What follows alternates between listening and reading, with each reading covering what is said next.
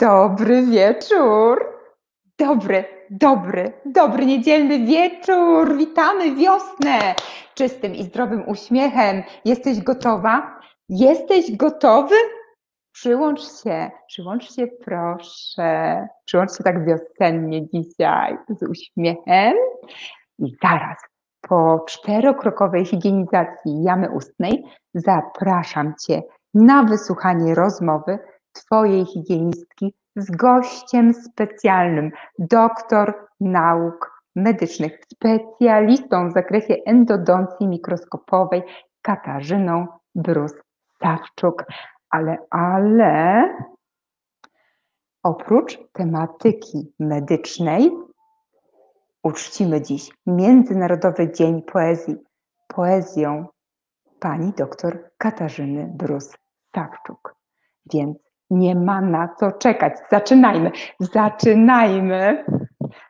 Pasta na szczotkę. Ci, którzy robią mini nawyki, oczywiście skracają. A ja dziś, w ten wyjątkowy wieczór, żeby gość specjalny długo na nas nie czekał, zaczynam pełną higienizację. I raz, dwa, trzy, zmiana. Zmiana. Prawdopodobnie przyspieszę dzisiaj. No, jakieś po prostu przyspieszenie na pewno w wyniku emocji nastąpi, ale ty rób swoje. I ja właśnie zmiana. I od wewnątrz, tak. Dobrze idzie. No, fiono, fiono. Wiosenny uśmiech. Przygotowujemy na długie spacery. Będą długie spacery. Przyroda dla nas za chwilę uśmiechnie się pełną parą i przygotowujemy nasze uśmiechy. Ja właśnie zmiana. Zmiana. Od wewnątrz. I jeśli dobrze. I jeśli dobrze, idzie super, świetnie szczotkuję. I dół. Ja robię prawy, prawy dół.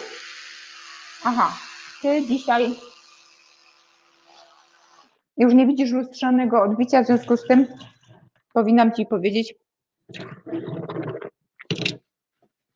na odwrót. Specjalnie dla Ciebie rzuć towarzyszyć, czyli lewa strona. I jak zrobiłeś, zrobiłaś, to przechodź na prawo. I pianowo, okej. Okay. Okej, okay. i na prawo. Moja lewa, twoja prawa. Lecisz, lecisz. Widzisz, że przyspieszam? Nie bawimy się tak. Ty szczotkuj dłużej, ja przyspieszam cię.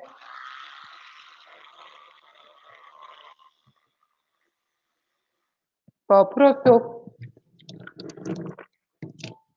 nie możemy pozwolić, żeby nasz gość specjalny długo na nas czekał, ale ty absolutnie nie spuszczaj tonu. Ja widzisz, mam dzisiaj słuchawki, mikrofon, więc plączę się w tych sznureczkach i wynickuję sobie mm, jedną ścianę i drugą, specjalnie tylko. Przypomnę Ci, że nitka ma ciągle y, bezwzględnie dotykać ściany zęba, a nie przebijać brzydawki dziąsłojej.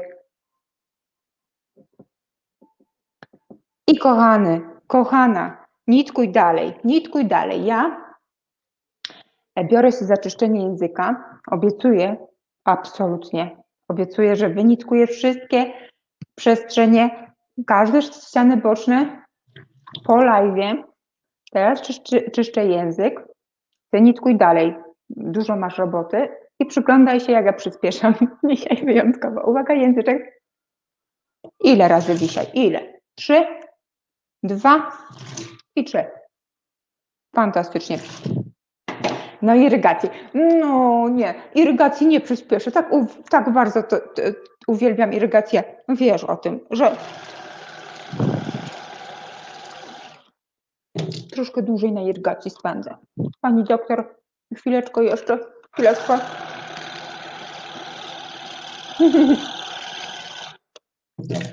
Zresztą mm, jesteśmy pewni, że pani doktor też higienizuje czterokrokowo u siebie w domu. W związku z tym też, też teraz po higienizacji z doktor się spotykamy.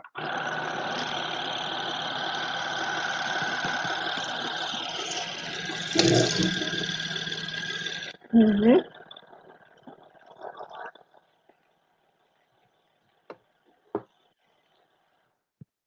No witam Was kochani. Witam, jakieś komentarze tu w końcu. Jasia, Wiola, Krzyś, Jadzia. No dziękuję kochani, że już się dołączacie, że higienizujecie.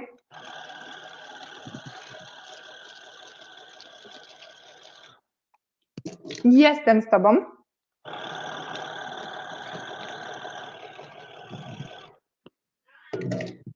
I jeszcze masaż dziąseł. Strumień stożkowy. Oczywiście ząbki też możesz przepukać, ale najważniejsze, masa, najważniejszy masaż dziąseł. Lecimy.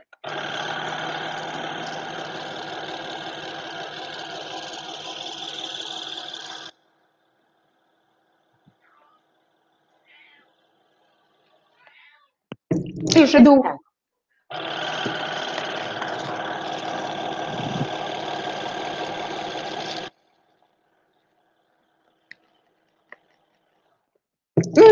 I skończony. A, brawo, brawo. Koniecznie dzisiaj zapisz higienizację wieczorną czterokrokową w swoim dzienniku rozwoju. Proszę, proszę, proszę, nie zapomnij o tym fakcie, bo to pierwsza twoja wiosenna higienizacja i twój pierwszy wiosenny sukces ze mną. A teraz, a teraz jesteś gotowa? Jesteś gotowa? Jesteś gotowy, aby spędzić wieczór z wyjątkową osobą z wykształcenia? Jest lekarzem stomatologiem, specjalistą w zakresie endodoncji mikroskopowej oraz wykładowcą w Warszawskim Uniwersytecie Medycznym. Tak jak już wcześniej wspomniałam, posiada doktorat, prowadzi liczne kursy i wykłady dla studentów oraz lekarzy w Polsce i za granicą. Równocześnie jest poetką, wiersze i krótkie formy prozy pisze już od 16 roku życia. Do tej pory wydała trzy tomiki poetyckie. Pierwszy e, Kraina deszczu i słońca, e, d- świt, drugi z moich, znaczy drugi z moich ulubionych, ale e, nazywa się Kilka z moich ulubionych i najnowszy z 2018 roku Smutek i inne emocje oraz opowiadania Stany podświadomości. Jest członkiem Stowarzyszenia Autorów Polskich i w 2020 roku dołączyła do zespołu redakcyjnego międzynarodowego niezależnego kwartalnika Postscriptum. Drodzy Państwo, drodzy Państwo, przedstawiam Państwu doktor nauk medycznych Katarzynę Brus-Sawczuk. Dobry wieczór Pani doktor.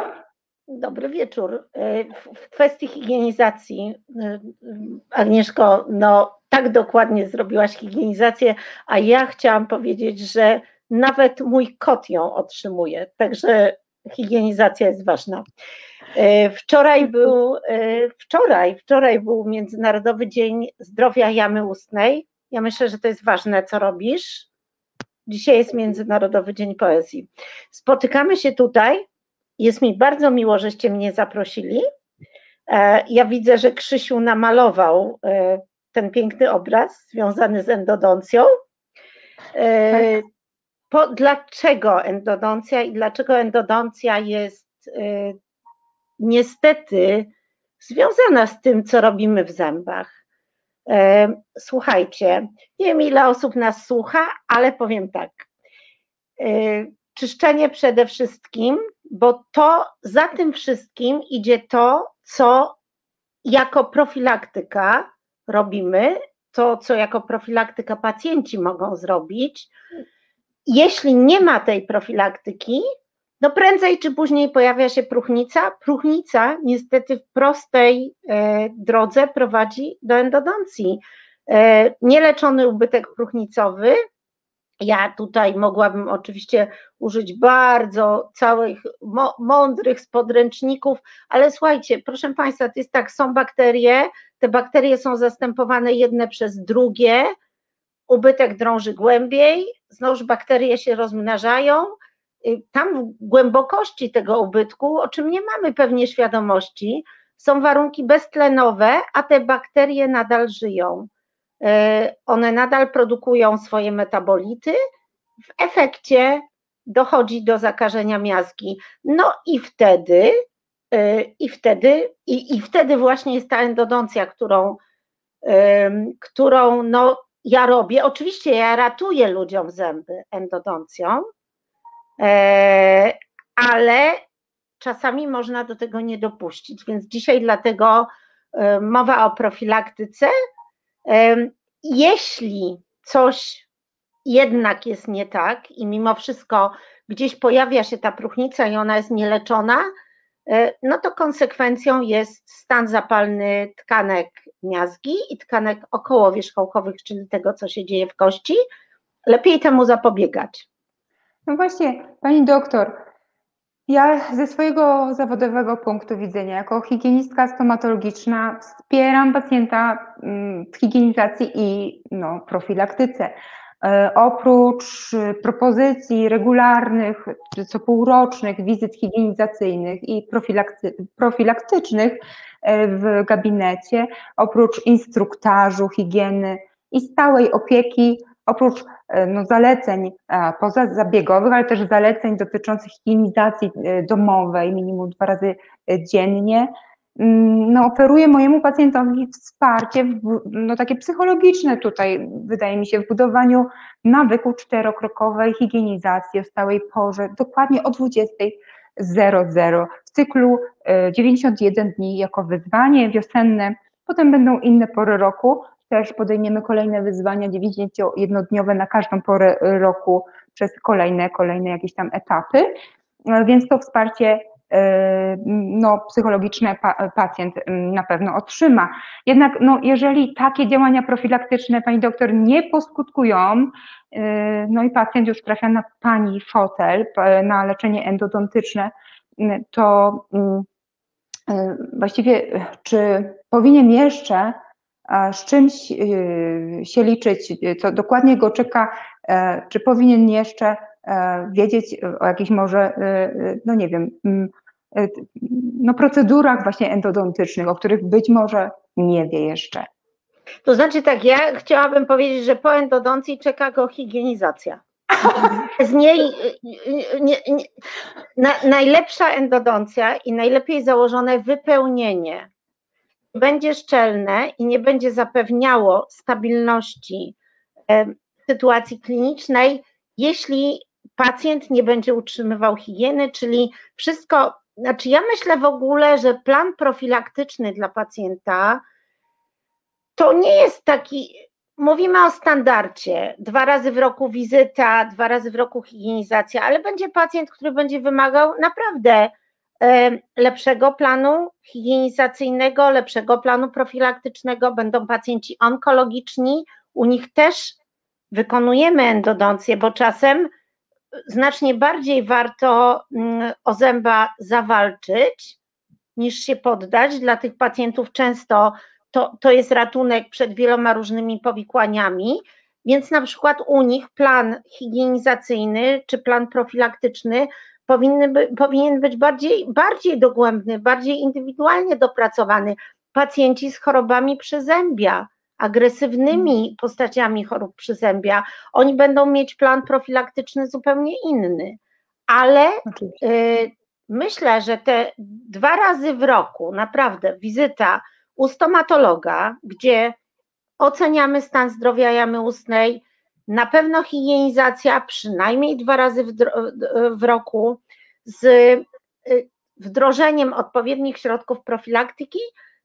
To jest to, co, co dba o nasze zęby, i ja myślę, że to, co jest istotne, żeby u małych dzieci ten nawyk już został wyrobiony, czyli że to nie jest tylko my dorośli, ale cofnijmy się, to jest też rola rodziców, e, dziewczyna zadała pytanie, jak można być, jak można pracować równocześnie w ten sposób zawodowo i robić rzeczy mhm. artystyczne. Od dawna to robię i, i, i myślę, że to, to jest moje życie i obie sfery się bardzo mocno przenikają. Jeszcze tylko o endodoncji. Endodoncja też jest dla ludzi, czyli to, to leczenie nie jest tak straszne, jak było kiedyś. E, leczymy oczywiście w znieczuleniu metody Mm, tak bardzo duża różna możliwość i narzędzi, e, urządzeń, umiejętności lekarza oczywiście, e, plus powiększenie, czyli mikroskop, dają możliwość, że to leczenie po prostu jest bardziej przewidywalne, jeśli już jest taka konieczność jego wykonania. Rozumiemy, rozumiemy. Nie wiem, mam nadzieję. E, no, proszę Państwa, ja oczywiście nie zachęcam do, le- ja nie zachęcam do leczenia endodontycznego. Jeśli by było ono konieczne, to szukajcie Państwo e, przy wszystkich trudnych e, sytuacjach lekarza, który pokieruje do endodonty, który, no nie wiem, jeśli sam nie będzie potrafił, to nie jest, słuchajcie, to nie każdy będzie wykonywać taką endodoncję bardzo specjalistyczną. Każdy z nas, z nas po studiach zostaje lekarzem, stomatologiem, który leczy pacjentów. Lekarz stomatolog ma tę szczęśliwą okoliczność, w przeciwieństwie do medyka, który jeszcze po studiach medycznych musi się uczyć bardzo, bardzo długo, żeby praktycznie mógł do, dotknąć pacjenta, e, lekarz po studiach dentystycznych e, potrafi wykonać bardzo dużo zabiegów. Ale oczywiście jest wąska specjalizacja i my się specjalizujemy później, więc no, będzie tak, że pewne zęby będą wymagały naprawdę leczenia specjalistycznego i, i to nie jest żaden, y, tak jest i dlatego słuchajcie, takie leczenie jest, istnieje y, i, i po prostu pacjenci y, no, powinni zostać pokierowani, jeśli, jeśli jest taka tak. potrzeba. Dokładnie. Dobrze, mamy prawdopodobnie prawie końcówkę naszego programu.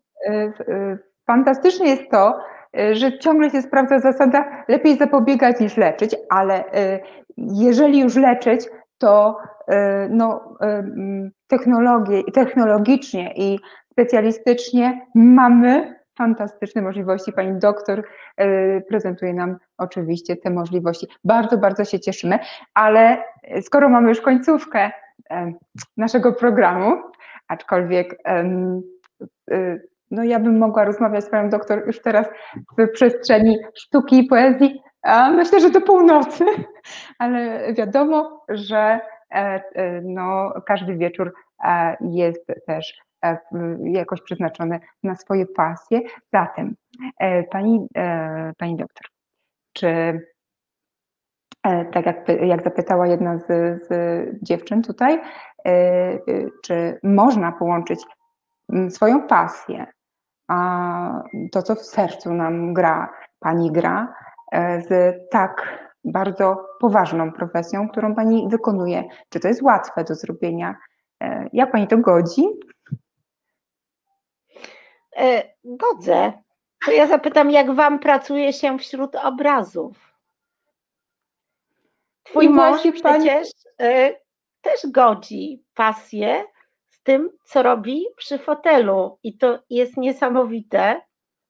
E, uwielbiam obrazy. Miałam przyjemność o Krzysiu napisać artykuł. Pokaż ten kawałek tak, przez sekundę. Tak, tak. E, to jest akurat e, artykuł pani e, doktor. To jest w, w, w postscriptum numer dwa, czyli w niezależnym kwartalniku międzynarodowym kwartalniku i um, już szukam, kochani, bo no, Krzysztof oczywiście z, y, robił na swojej stronie, um, na swoim fanpage'u i na, y, i na swoim profilu. To inaczej, ja pokażę. Ja Bardzo inaczej. proszę. Ja pokażę. Bardzo ja proszę. pokażę. To jest artykuł o Krzysztofie i te obrazy są po prostu y, poruszające. Myślę, że niesamowite jest to, jak pracujecie wśród obrazów. No, już zaraz, zaraz pokażę E, znaczy właściwie dzisiaj galerii nie jestem w stanie pokazać, e, bo, e, bo to jest no nie sposób chodzić tutaj ze sprzętem i pokazywać. Zresztą pani, pani doktor jest głównym tutaj gościem, więc to, to jest mój priorytet, priorytet, żebyśmy się wszyscy nacieszyli Pani obecnością. A faktycznie, jeżeli chodzi o um, życie w tej galerii, to nasi drodzy pacjenci, chodząc do poczekalni, chodzą tak naprawdę do przestrzeni orapizmu. To śmiejemy się czasami, że do orapizmu, e, właśnie orapizm art galery. E, Krzysztof jest artystą. E, stworzył nowy, nowy, całkowicie nowy nurt w sztuce abstrakcyjnej i trudno byłoby, aby nasi pacjenci no, nie byli częścią tej sztuki. Myślę, że my wszyscy, którzy obcujemy z orapizmem, a oczywiście mm, pani doktor również, czujemy się wyjątkowo, czujemy się częścią przestrzeni, którą tworzy swoją wyjątkową osobą Krzysztof Konopka, a tym samym oczywistością jest, no po prostu, że my wszyscy stajemy się częścią historii sztuki, ale, ale, ale, ale trudno, trudno nie wspomnieć o waszej wspólnej przestrzeni, obraz tancerki, orapisty Krzysztofa Konopki towarzyszy poezji pani Pióra i proszę spojrzeć, proszę spojrzeć, w kwartalniku z to widzimy, przedświąteczny kwartalnik. Przedświąteczny, tak, czwarty numer, przedświąteczny. Ja na niego mówię tak osobiście w domu zimowy, ale to jest moja nazwa.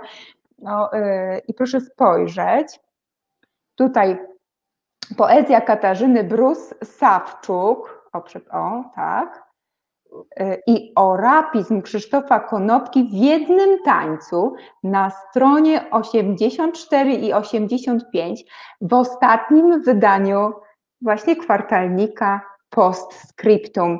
Tancerki yy, już pewnie też niekiedy zostały przez naszych obserwatorów e, dostrzeżone i przybliża poezję.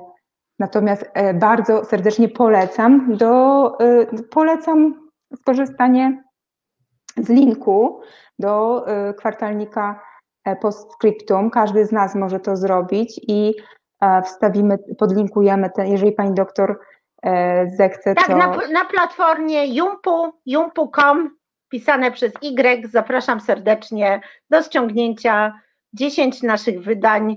E, tak to robię. Ja myślę, że czas nam się najprawdopodobniej kończy, Agnieszko, tak? Tak, czy, czy y, ja obiecałam naszym y, odbiorcom, że dzisiejszego wieczoru będziemy celebrować Międzynarodowy Dzień Poezji Pani własną twórczością. Czy zechciałaby Pani przeczytać dla nas, specjalnie dla nas, wybrany przez siebie utwór. No dobrze, i jeśli to jest Dzień Poezji, to ja przeczytam e, wiersz, który w jakiś sposób e, odzwierciedla poezję. E, czy poetów? Poecie wolno więcej, mocniej, z rozpoznaniem ponadwrażliwego czucia może dotykać stref niebezpiecznych, zabronionych, waginalnych, wojennych, politycznych, niepoprawnych, tego, co uwiera lub co pozamiatane. To, co boli najbardziej, przeszkadza. Wolno mu prowokować, wolno mu mieć uczucia, łzy, wszystko mu wolno powiedzieć. Pożytek słowa. Dziękuję.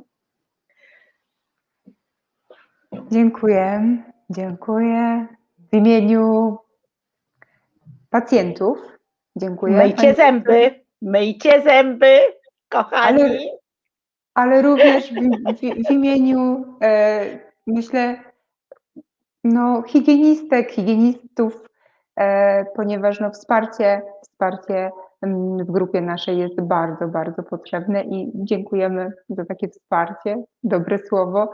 Pani doktor, w Pani poezji można się zakochać i czytać ją do północy. Ja sobie tego dzisiaj nie wyobr- właściwie ja, ja sobie tego dzisiaj życzę i na pewno z Krzysztofem za chwilę będziemy czytać Pani doktor poezji. Dzięki. Dobranoc, życzę wszystkim e, Dobranoc. dobrej nocy, no i kolejnego spotkania. Dzięki Dziękuję serdecznie. serdeczne. Dobranoc. Dobranoc.